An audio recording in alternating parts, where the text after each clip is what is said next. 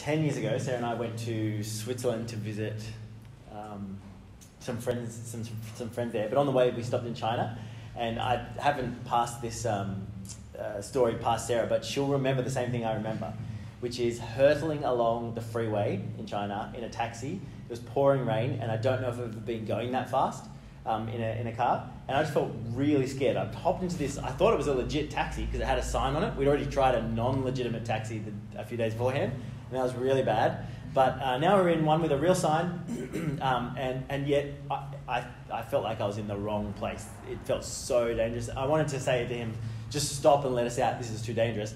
But I, I just thought, well, then I'll just have to get another taxi who I won't be able to, you know, do a test on the, that driver before I hop in. It was a, it's a horrible feeling being with someone and kind of in their care, maybe in their car, uh, who you just, you worked out that you don't quite trust them.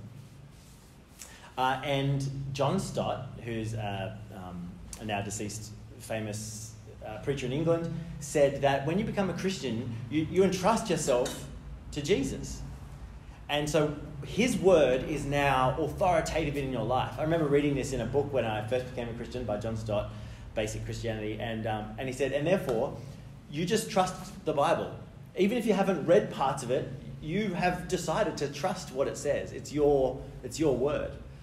And sometimes as we open up various parts of the Bible, and maybe as we hear other Christians speak about parts of the Bible, we find it maybe pretty unsavory and it doesn't just sound politically correct, it is politically incorrect. And it just says some stuff that just seems, wow, that, that seems nuts. And you find yourself feeling like, am I in a car that I don't want to be in? Are we, are we just going a bit too fast here? I think I might want to get out. Well, as uh, if you've been here in the past few weeks, as you know, we are looking at some of the really hard questions that our culture, that uh, my mum and dad, that my friends have about the Christian faith, and that I have about the Christian faith sometimes as well. We're looking, we're going from Rebecca McLaughlin's book, Confronting Christianity, where she just takes some of the really um, uh, common questions that are out there and, and has a go at them. now, can you just turn me down a little, please? Um, and uh, uh, yeah, I think I said this the other day. She has these great stories because she works in universities and knows lots of professors and really good stats, and that's how she answers the questions. Um, and uh, I don't have those and don't have time to give them to you. Uh, uh so I am going to kind of highlight the, the biblical stuff. Uh, but it's a great book and it, it's, it, it's worth reading. John Dickson, who's an apologist and a historian in Sydney, says it's the best apologetic book in the last 10 years or, or in this decade. so I don't know when it starts. But uh, yes, and, and our question tonight is do you take the Bible literally? How could you take the Bible literally? Uh, uh, yeah, so, and that's a really important question, isn't it? And it's a question that I reckon your friends have and my friends do. Uh, and I want to just try and answer the question really succinctly and clearly up front uh, and tell you. And then I want to explain some stuff. Let me answer the question. Do you take the Bible literally? Well, I don't know about you, but I'm going to tell you about me and, and what I think the Christian person ought to do. You should not take the Bible literally. You shouldn't take the, the Bible literally. Instead, what you ought to do is to take the Bible as true. Uh, and I don't mean to be evasive, and that's why I'm going to try and explain what I've said, but that's the statement that I have for you. No, you ought not to take the Bible literally, you ought to take it as true. So let me explain a little more what I mean. And I want to do that by just talking about this verse here from Proverbs chapter 30. and I want to point out four things that this verse teaches us. First of all, I'm just going to say it actually, first of all. Every word of God is flawless. He's a shield to those who take refuge in him. Every word of God is flawless. And he is a shield to those who take refuge in him. Four things I want to show you here. First of all, this verse says that God speaks. The God that we believe in, our God, is a God who has not remained silent. he's not distant. He's not, and I say this often, don't I? He's not a force. This is what my Australian people, my friends, family, and neighbours think. He's not a force that's out there that's kind of pretty good and warm towards you. He is that actually, but he's more than that. He speaks, he talks, and he makes things known. This verse says that God has words, that he opens himself up in conversation. Second thing it says is that every word of God is flawless. this, this verse is teaching that the Bible says true things, that God, through the Bible, says true things. He, he doesn't deceive, He doesn't tell lies, He doesn't say some nice ideas that don't come true in the end. Every word of God is flawless. Now, it's worth saying, even right here at the outset of this talk, that um, a lot of God's speech in the Bible is promise about the future, and some heaps of it you see it fulfilled in the Lord Jesus. Uh, some people talk about Old Testament, New Testament as promise and fulfillment. So a lot of, and, and, actually, um, there's lots of promises that aren't yet fulfilled. So I want to say um, you don't always see God's word as true in front of you with your eyes, but the promise of the Bible is that God's word is flawless. And so much of it has come to fruition in the Lord Jesus. He made promises in the Old Testament and then he answers them in Jesus. And so much of it is coming as well. But the point here, just to try and keep it simple, is that God doesn't tell lies. His words are trustworthy. I wonder if you've ever been let down by someone who just didn't do what they said they were going to do. God's not like that. His word is flawless. Third thing, third thing to say is that because God speaks, our God speaks, and because God speaks flawlessly and with truth, He is a shield to those who take refuge in Him. He is safety to those people who find their space with Him. Uh, in the words of that song before, who embrace Him and are embraced by Him. His, uh, his person, because of His speech, uh, because He gives Himself to us in His words and they're flawless, He's a shield for us. it's a very beautiful thing, this, this third point. Uh, in, a, in a world and in my life where um, there's challenges and uh, difficulties that come regularly and out of the blue, this God is a shield for me. In uncertainty and kind of times when you, I don't really know what I'm supposed to be doing and I don't know how I feel about life, this God can be a shield for you. In relational conflict, when people are against you and it's bitter, this God is a shield for you. In sickness, that comes suddenly, or injury that, that just throws your life suddenly, or comes on slowly and stays slowly and just, just grinds your life slowly. In that kind of sickness, in either of those sicknesses, this God is a shield for those who, who find their safety in Him. In death, He's a shield. In places that seem like God has deserted you, you look around and you can't see Him anywhere but his word is there and he is a shield to you, even if, it, even if you can't see him otherwise. When people think that you're useless, when you think that you're useless, this God is a shield, the Bible says. Uh, and, and so, should we take the Bible literally? So far, I'm saying no, you ought to take it as true because, because, because uh, Proverbs 30 says that God speaks and he does so truthfully, and it's the kind of uh, that coming together means that uh, there's a safety in him. So, hear me say two strong things, um, not literal, but definitely true. And I want to I wanna show you, uh, I want to um, uh, point that out from this text again, that it's true, not literal, because God is not a shield, is he? He's not strong and made of um, metal or timber, and he doesn't stop sharp things from making you bleed. So it's not literal, is it? But it is true. You see it even just on the surface. I picked a really, I mean, there's so many verses I went through and started writing, and then, but I thought, no, no let's go really simple. He is a shield. I mean it. I, I, every one of those ones I wrote because they're true for me that he's a shield in those ways. He has been reliably strong. But he's not a shield uh, in that other way, is he? Okay, so I'm saying that no, you don't take the Bible literally, you take it as truth.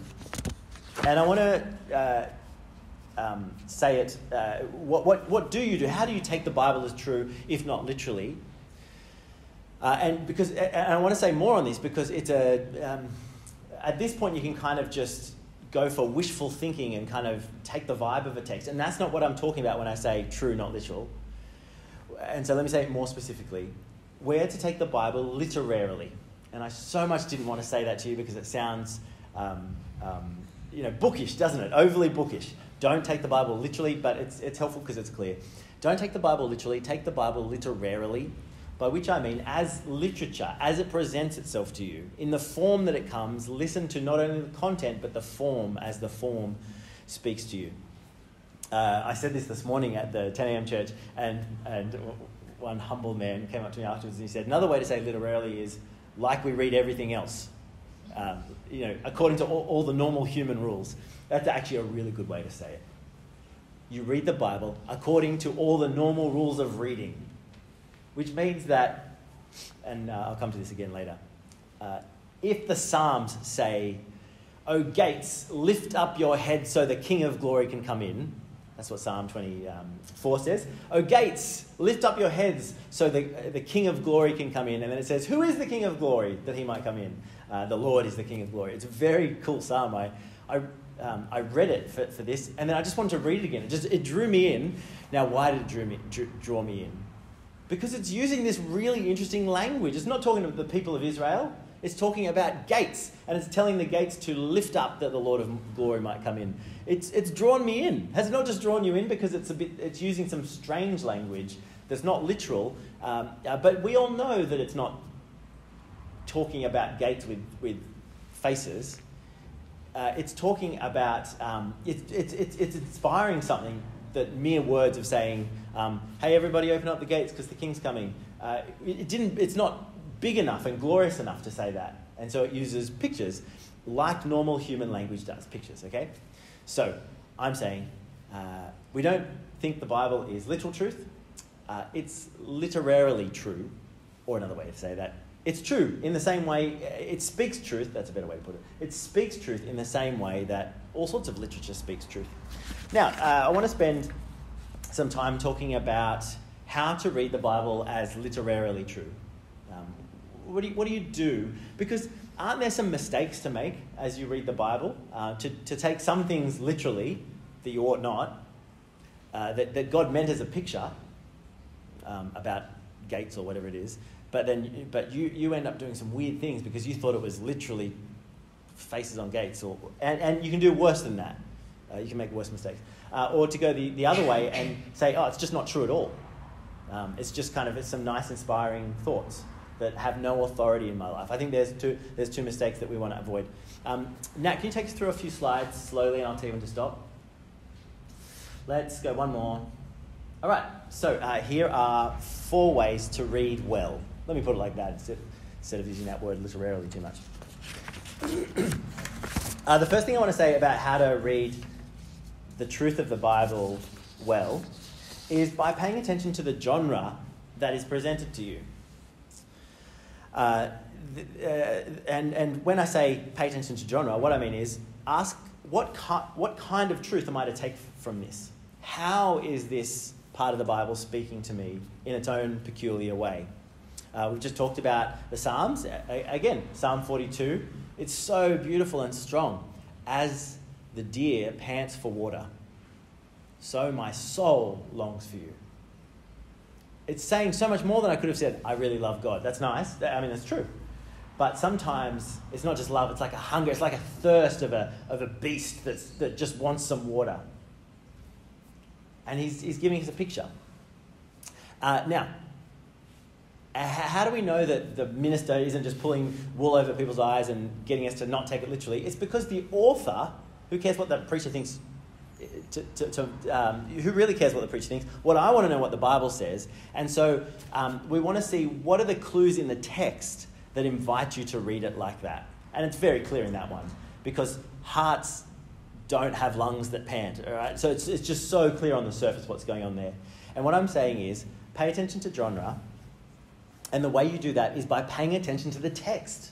We don't pay attention to what I want to say. Um, uh, maybe I've had a busy weekend and maybe I don't feel like going to work tomorrow. And so maybe I could go find that somewhere. I bring my meaning to a text and find it somewhere in there. That's not what I'm talking about. What I'm saying is go to a text and read the information, but also read the, uh, the signals that the author has put there on how to read it, on the form. I want to just run through a few of the different genres and the kinds of truth to take from them. I get this is a reasonably simple point. Like we, we know how to read a poem versus we know how to read a novel versus we know how to read the paper versus a, a scientific journal. but I wanted to talk about some of the different genres because once you say them out loud, you're like, yeah, they are really different, and I ought to sit differently under each of them. As a Christian person, I sit under them as truth, but I sit, sit under them a little differently, and, and I position myself in differently in the same way that uh, when you go to an art gallery, you position yourself differently depending on how the artist has invited you to, right? Um, uh, if, you, if you've got an impressionist picture there, uh, you don't go up too close and count how many green strokes of green olive there are and go, ooh, he's really gone, gone to town in this little bit on green olive. Uh, no, you stand back and you, you take the impression, don't you? And it speaks of reality when you do that. But if you get up too close, you'll miss it. In other um, uh, works of art, the artist may be trying to make it correspond very directly, one for one, with reality. It almost looks like a photo. And you look at it differently and you notice different features, don't you? Let's just talk through. So, I've talked about Psalms. Um, and that's maybe one of the clearest where we see a difference in genre from things that are closer to literal truth. Um, another way to say literal truth is um, direct equivalence. Um, yes. Uh, the Psalms we've talked about. Um, on the other end of things, you've got things like the Gospels, uh, which are. Um, yeah, okay. You've got things like the Gospels, and Luke chapter 1 starts really straight up, and he'll give you a clue. He doesn't just throw you some images like a deer, my soul is like a deer. He just tells you what he's, what he's doing. Here's his signal. Uh, Luke chapter 1, he says, um, Many people have undertaken to draw up an account of the things that have occurred amongst us, oh, excellent Theophilus. He's, so he's not writing to you, actually. He's writing to uh, someone who seems like they have a Roman name and sounds like they're highly official. Uh, oh, excellent Theophilus. Um, uh, and I thought it would be good, he says, to um, compile a, um, a, record of, the, uh, uh, of, of, eyewitness accounts, is the phrase that he uses, uh, so that you can be sure. What's he doing? He's not speaking poetry. That's the least poetic thing I've ever heard. Uh, he is trying to report for you, and he told you, I'm getting some eyewitnesses, and I've put it together, and it's orderly. It's an orderly account. He's going to throw out the details for you. And so that means we read it, uh, maybe not so impressionistically, but we, we're going to look for the details in this one. Uh, let me just quickly, don't let me talk about this for too long because I, I, got, I got distracted researching apocalyptic literature we can get distracted together over nibbles. Um, apocalyptic literature, it's a really different genre, and it's its own genre in its own right. Revelation, definitely. Uh, Daniel, definitely. Isaiah 24 to 29, maybe. Um, and, you know, they have definitions of what apoc- apocalyptic literature is. A guy called um, John Collins from Yale Divinity School kind of noticed what's going on in all these different apocalyptic texts from biblical times, not, not biblical ones, but like all over the world in um, apocalyptic literature, and it's just really clear what the genre consists in. He says, he's kind of, um, um, you know, defined it, and everybody agrees. And uh, it's an account of a revelation mediated by a heavenly being. So you have to have a heavy, heavenly being. It has to be given by some spiritual, you know, angel or a spiritual animal or something that discloses a transcendent reality. That means um, reality that it's true, reality, uh, or it's claiming to be true, and but it's not just the here and now, and it's both spatial and temporal. Uh, and so, when you come across something like that, you you you read it as apocalyptic literature. And um, people who know apocalyptic literature tell us that what you do with apocalyptic literature, like Revelation and Daniel, is you experience it. It'll make you feel a certain way. It's not particularly trying to give you details. And so when you get to Revelation and it says that Jesus had a sword coming out of his mouth, hands up if you think that Jesus has a sword in his mouth. He doesn't. But when you put that picture together with what it says next about him, he had a tattoo on his leg and his robe was dipped in blood. It's making you feel a certain way about Jesus. Later on, it's going to say, um, Let me tell you about the world at the moment or, or in the future there was a prostitute and she was riding a dragon and she had like I can't remember how many, how many crowns and if she was wearing them or someone else was or the dragon was wearing them. But it's building a picture to make you experience reality, uh, transcendent reality. It's really reality, but it's not just the here and now. It's the stuff you can't see, And, uh, and it's telling a kind of truth. Uh, a truth about Jesus that we just touched on really briefly a moment ago, a truth about the state of things now and in the future with the dragon and the lady. Um, it's, and, and, and if you sit under one of those chapters, it's quite terrifying. And it's trying to be. Uh, uh, yeah, it's trying to tell the terrible truth in a way that will make you go, yeah. And then it'll, it'll give you a few details here and there about what to, what to pray and how to sit. Uh, but, uh, and um, John Collins says this, I'm just going to paraphrase, but he basically says, um, this is what apocalyptic literature is. So I hate it when people try and find coded messages with the numbers and the instructions. So there's all sorts of interesting numbers in the book of Revelation and in Daniel that people spend books and books and arguments on the internet about this number means this and it's this many days until Jesus returns. And people say and do all sorts of, I, I think, pretty silly things. And they get distracted from the truth that ought to make them pray, ought to make us pray in a certain way.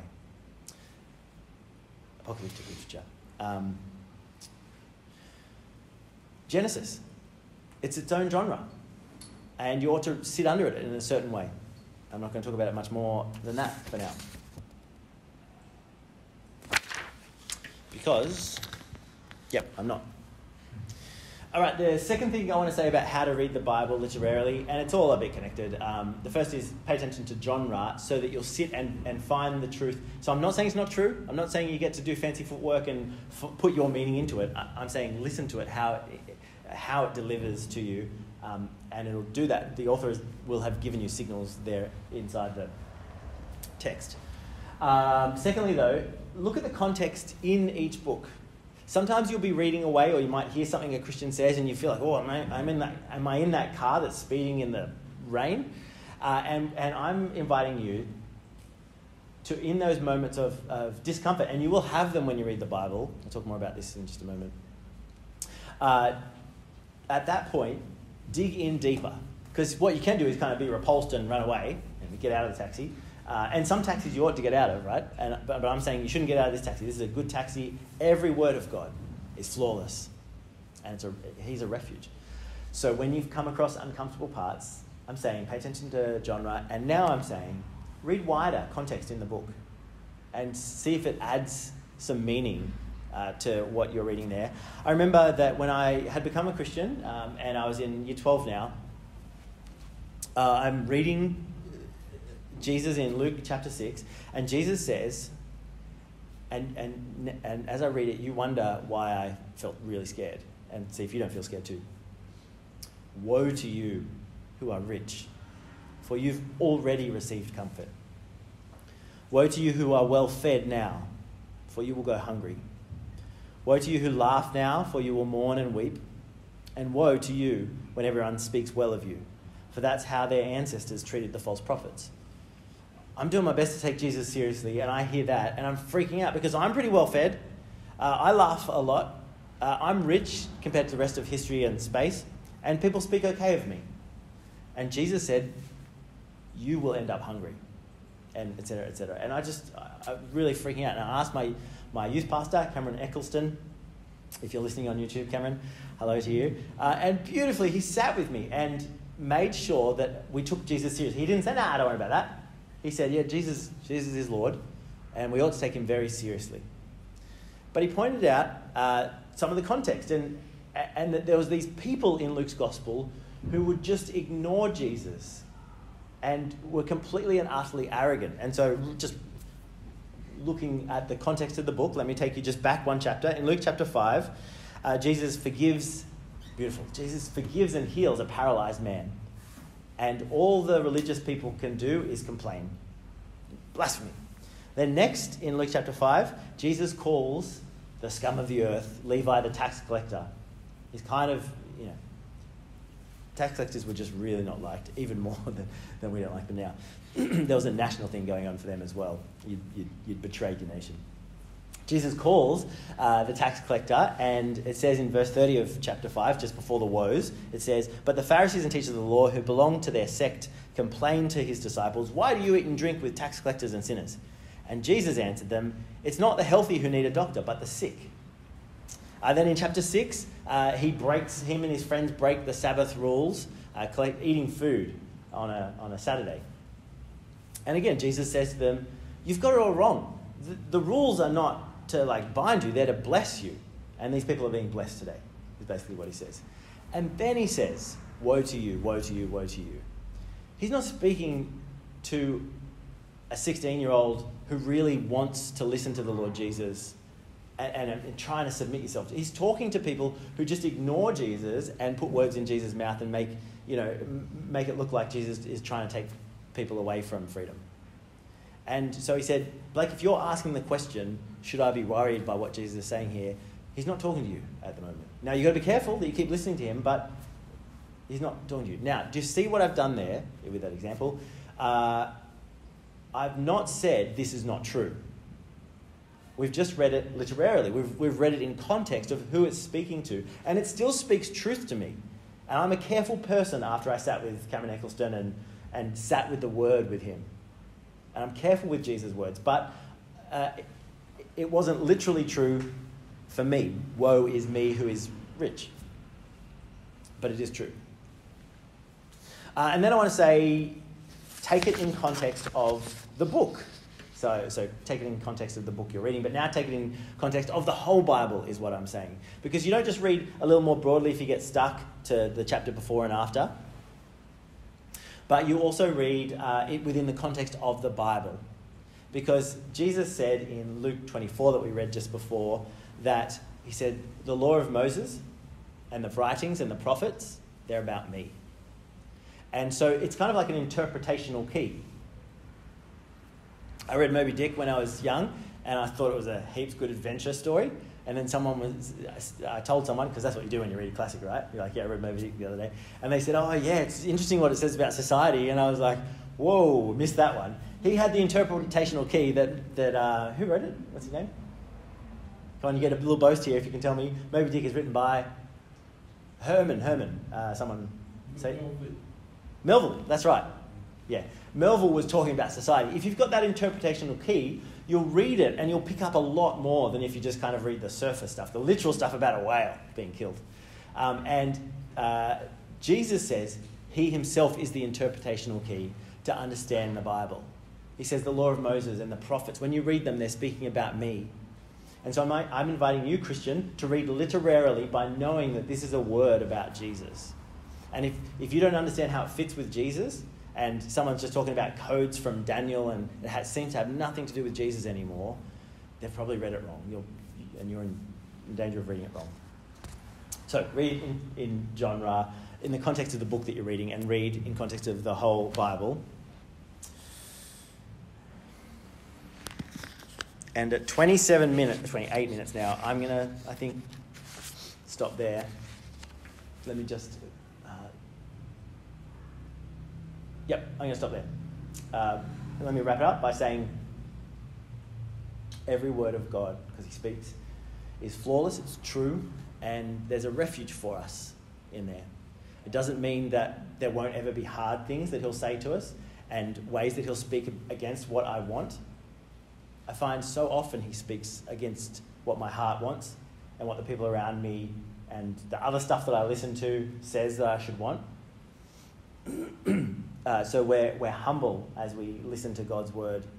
He's able to speak against us and speak, speak against uh, what we'd otherwise uh, think is the right way. It's authoritative.